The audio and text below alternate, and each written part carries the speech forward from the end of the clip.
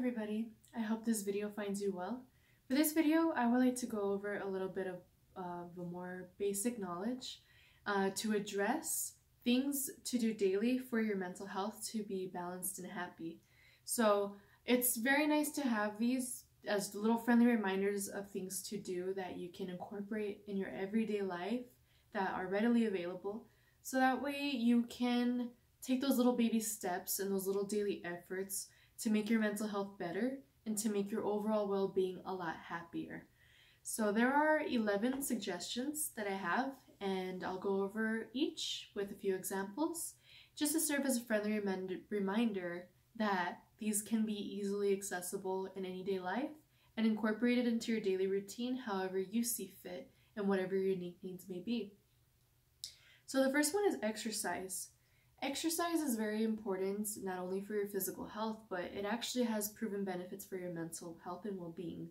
While you don't need to achieve it with a specific goal in mind or a specific body image that you want to achieve, um, you can just approach exercise as a way of letting off steam, releasing some stress that has been built up or pent up inside of your body. And you can also understand it as a way to create some really good endorphins that help rewire and reshape your brain and your overall neural pathways. Because if you are constantly taking those active steps to produce more endorphins inside of your brain, it is going to create a more positive and balanced, happy lifestyle for you. So, exercise is very effective. You can find whichever way you would like to. I mean, there's never a one size fits all when it comes to that. It all depends on your needs and your capabilities.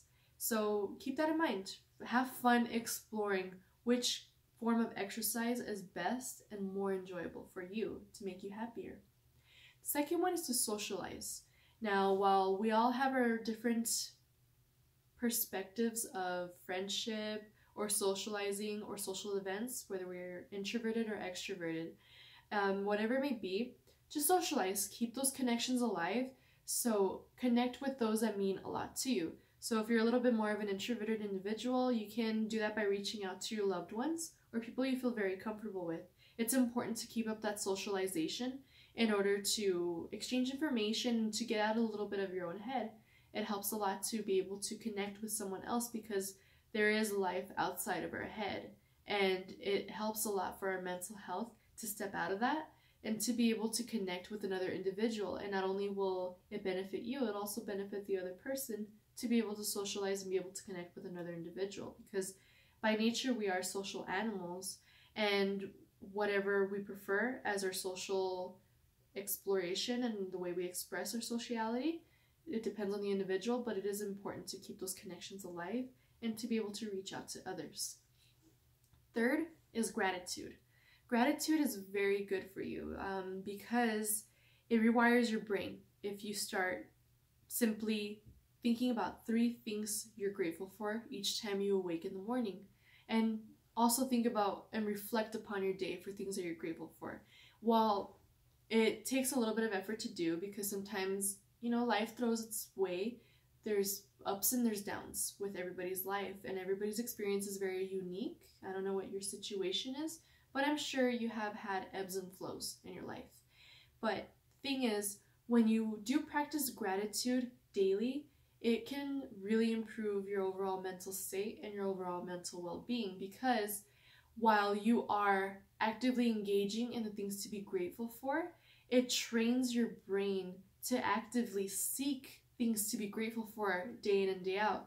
So, more so than focusing on shortcomings or negativity or building up negativities in your head, your brain will be actively seeking for things to be grateful for for that day to reflect upon, to write into your journal. And the best thing you can do is write it in a journal because you keep track of that and you start feeling that with really good things and a lot of things that you're grateful for in your life. And therefore, since you're actively taking that on as a daily task, your daily demeanor and who you are shows up as a very grateful person already before good things happen in life. So, think about it this way. I'll use an example. Um, on a regular day, we all know that there are different colors of houses, right? So let's say wherever you're exploring, you're exploring a new neighborhood or you're driving through a certain scenery and you start noticing, or you give yourself a task to look for oddly colored houses, you know, houses that are outside of the typical range of a color. Then you start noticing which ones are those colors. Or another example, um, let's say you suddenly start noticing trees, a specific tree, pine trees, for example. So then, wherever your scenery is, wherever you're going through, you start taking notice of all the pine trees that you see because you're actively looking for pine trees. You've actively assigned your brain to look for pine trees. So if you actively assign your brain to seek things to reflect on in your gratitude journal, then your brain will constantly seek that afterwards. It will show up more, if that makes sense. You'll be able to curate that. And not only will you be focusing your attention on that, you will be creating reasons to feel grateful, if that makes sense. So that's very effective, and that's a very, very emphasized thing that I will give to you in this video. Emphasize the gratitude part and try to incorporate it into your daily life. Now, another thing can be spending time outdoors. Number four will be spending time outdoors. It's very good for us to be able to connect with the elements because while we have advanced a lot in technology, we have made things a little bit more readily resourced to us, it is important to also connect with something that defies time, technological advances, and everything, and that is nature. It's very important because Without nature, we don't have the elements that we need to survive. So water, there if there's a fresh body of water in your environment, water is really important for us, right? Sunlight. You need to get those vitamins from the sun because it's very important for your skin and it actually improves your mood to be out in the sunlight for at least 10 20 minutes a day. Of course, being careful with sunblock and such and making sure your skin doesn't burn or get overexposure to UV rays. But it is important to get that daily dose of the outdoors, that fresh air that comes in because oxygen comes out of plants and out of vegetation and trees. So it's very important for us to get that fresh amount of oxygen, more so than just circulated oxygen from a building or from a home or from wherever it may be. It's important for us to get into the root of all of those elements that we need for our well being. Number five is meditate. Meditation is very effective in rewiring your brain, and it is amongst one of the few things that can actually change your personality because our personalities don't typically change rapidly. Our personality only changes with medication, therapy, age, and meditation. Meditation is very effective in being able to do that and being able to change our psychology, our being, you know? So, in order to meditate, there are so many benefits about it because I mean, you could you can implement it in your day-to-day life easily. You can allow yourself to sit down even for 1 minute. For 1 minute, just set the timer on your phone. That's 60 seconds to just sit in silence and it's important to also emphasize not to assign your brain to think about anything. It's a it's a chance for your brain to rest from engaging in every single thought it has. So when you meditate, it's very important to just visualize those thoughts or let those thoughts pass like clouds in a clear sky. Let those thoughts just pass through your brain, hence the sky, and those thoughts are just those clouds. So meditating helps take you out of your thinking mind and keep you out of that attachment that you are your thoughts or that every thought needs to be taken seriously in your brain and exhausting you and exhausting all your energy and your mental health. So, meditation helps you get control by letting go of control, if that makes sense. Number six is to do something nice. Doing a kind gesture can really have a lot of benefits to you because when we do something good, we feel good. And there's some arguments that say that people uh, think that that's a selfish thing to do, but realistically, I think it's good to do that because not only are you improving your mental state or making yourself feel happy by doing something good for another person, um, you can be altruistic and not be doing it for that too. But it benefits two people. In the long run, it benefits the giver and the receiver in providing that really good feeling to it and it's it's something beautiful to do because when we can do kind gestures for people and especially when it comes to people who need it. It is a very beautiful way of interacting and a really beautiful way of stepping out of our heads in order to give to somebody else or in order to give to a cause. So that's one to really emphasize. Number seven is to have a good laugh. It's really important to laugh. I mean, to be light about it, you know, to be able to step out of that like constrained part of us, the seriousness that we need to be for whatever role life demands out of us, whether it be in the workplace, in a relationship, in an interaction, or just in a professional setting. It's good to be able to step out of that and have a good laugh. So, a good way of doing that is to watch some stand up comedy or to watch something funny, something of a comedy sense. It's really good to do that because it takes you out of that heaviness or that seriousness that you need to be, you know, set in or anything. It lets you be light. It lets you create this really overjoyous sense. And laughing releases a lot of endorphins as well. So that's a very good way to step out of it and a really good way to fuel your brain with some positivity in your mental health. And you can incorporate it daily if you like watching comedy a lot or uh, make it a little daily routine so that way to unwind maybe you can unwind by watching something funny and getting a good laugh in your day in. Uh, eight is actually to fix your posture believe it or not. There's a really interesting study that has shown and it's kind of interesting. You can try this as an exercise okay? So i want you to fix your posture. I want you to straighten your spine right? But like really straighten your spine Put your shoulders back, look up, and smile. Now try to feel sad without changing anything in your physical being. I want you to try it. Like, I want you to actually look up and smile and try to feel bad without changing your physical demeanor. It's very hard. So, there's also this little feedback loop and a chart that has been conducted by William James and it's specifically linked to questioning whether the emotion is what causes the action or the behavior, or could sometimes that physical action or that physical behavior or that expression of an emotion cause the emotion.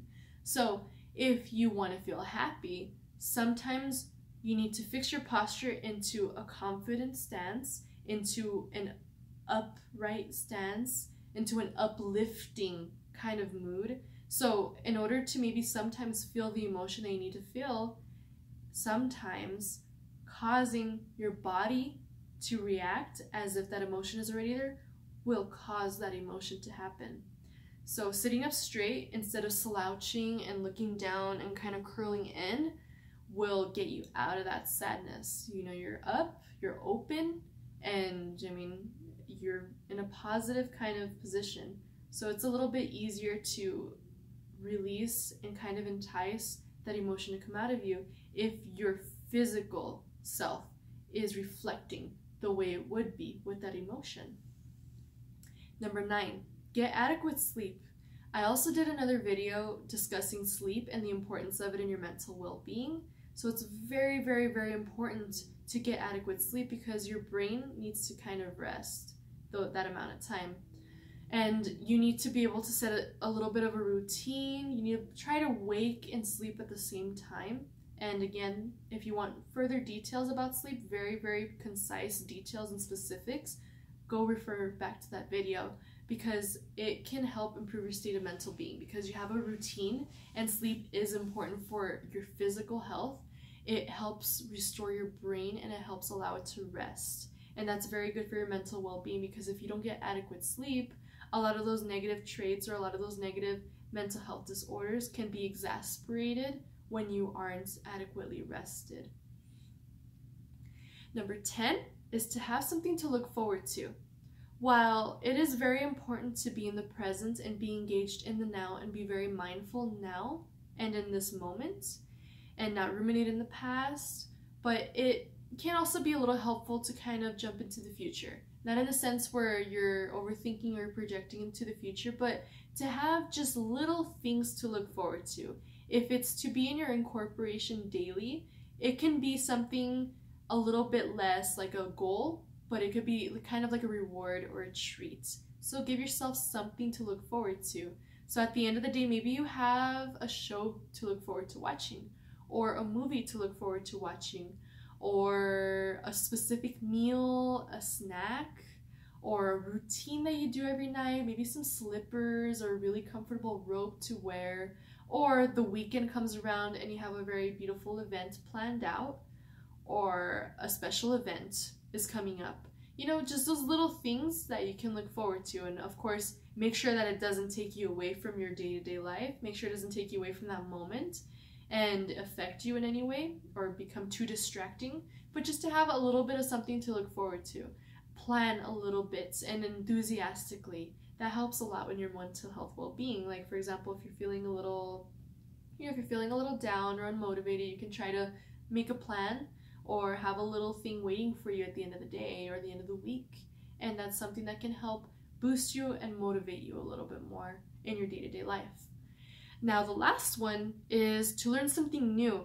It's very important for your neuroplasticity to constantly challenge your brain and learn because sometimes our brains cling on to a few old habits and old patterns of being. And if you do have an underlying mental health issue or you have a mental disorder or mental illness that needs to be addressed, um, sometimes getting out of that and training your brain to do something else, like learning a new topic, learning a new skill, or just overall knowledge about general topics that you wouldn't normally do, or read something new, can help it a lot in that neuroplasticity in being able to expand your mental being, being able to expand your brain to grasp onto something else. Because sometimes if you already have an underlying mental illness that you're facing it gets your brain can get stuck in exerting all its energy and ruminating and tending to that or falling victim to a lot of the symptoms that your mental illness may cause you and distress you with so if you give yourself something new to learn something exciting something that intrigues you it allows your brain to not be so hyper focused on your mental illness or on the things that your mental illness brings on into your thought process. And it allows you to be able to create that beautiful, bubbly effect in your brain where you're learning something new. And when you learn something new, you also release really good chemicals and rewire your brain a little bit and create neural pathways that can lead to that knowledge. So it won't always be this, that, or the other. You're creating some new neural pathways in your brain. And if you can learn something new that is also a positive thing or a positive adaptation in your life, then that's a win win. So I hope these 11 things to do daily have been helpful. And I hope that they were specific enough for you to be able to visualize yourself adapting those into your day to day life. So take, give or take whatever you need from this video, incorporate it into your daily life, and make it a thing make it serve in your favor for your mental health and for your brain to be balanced and happy and for your overall life to be balanced and happy i hope that any of these tips have been helpful or any of the little specifics have been helpful into giving you some sort of ideas to be able to give your life something or your day-to-day life a little bit of a task to do in order to kind of just add to your life i think you deserve that i think everybody deserves to have a balanced and happy lifestyle. So I hope this helps. If you feel free to share it, go for it, and thank you for watching. I really appreciate it. Have a good mental health day.